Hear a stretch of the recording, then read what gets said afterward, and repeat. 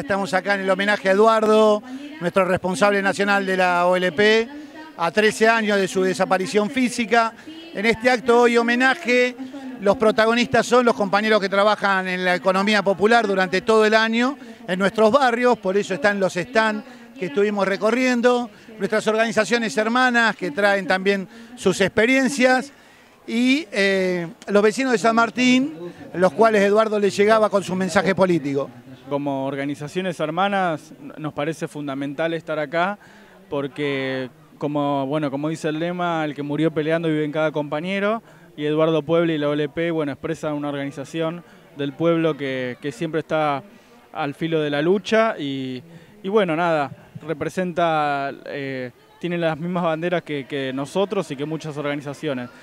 Lo que estamos haciendo es, dentro del homenaje, festejar, ¿no? Esto es más un homenaje, una pérdida, es una alegría porque hoy festejamos haber alcanzado y logrado esos objetivos que soñamos con Eduardo, que llevamos en nuestros petitorios, en las movilizaciones, a este municipio, a los distintos gobiernos, cuando planteábamos que queríamos cooperativas, que queríamos inmuebles para hacer nuestras fábricas y crear nuestro propio trabajo. Ahí estamos viendo los talleres de herrería, el nuevo galpón que están construyendo las compañeras, cómo están llevando adelante la panificadora en, San Fernando. Y bueno, todo lo que estamos mostrando hoy lo ponemos acá como recuerdo y homenaje a Eduardo.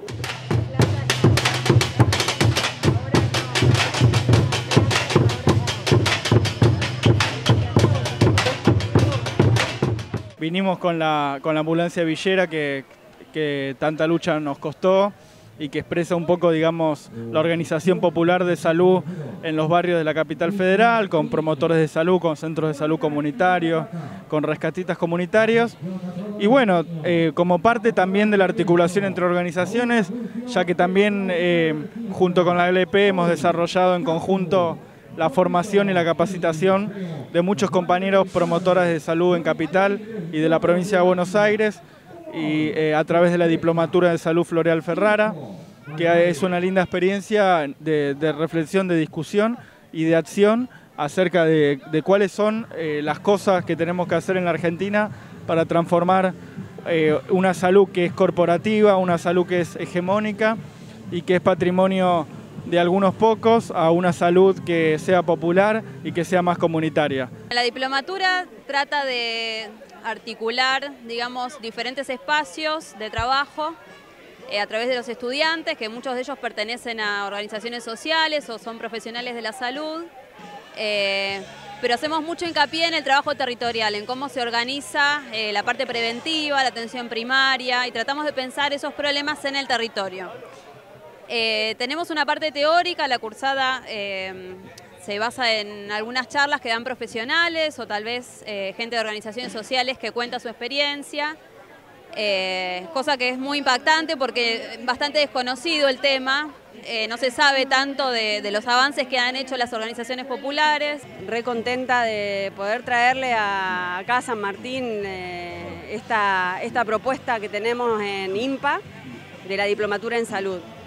La diplomatura en salud eh, comenzó en el año 2015, empezamos a pensar en esa propuesta,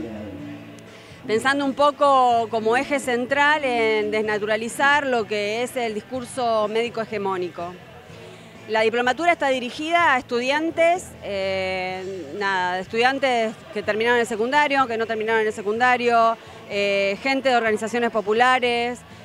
profesionales, todo aquel que tenga ganas de pensar la salud popular desde un lugar eh, diferente,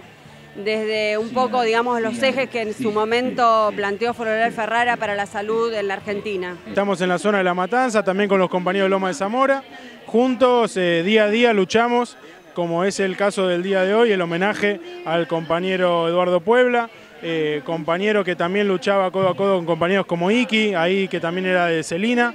Eh, que luchaban justamente por los derechos de las y los trabajadores, que hoy en día estamos en una etapa, en un contexto que cada vez se viene más a pique, tenemos que salir más a la calle para, seguir luchando por cuestiones básicas que tienen que ver con la tierra, el trabajo, la vivienda, todas luchas dignas por, por, la dignidad, por la dignidad del pueblo, de los barrios.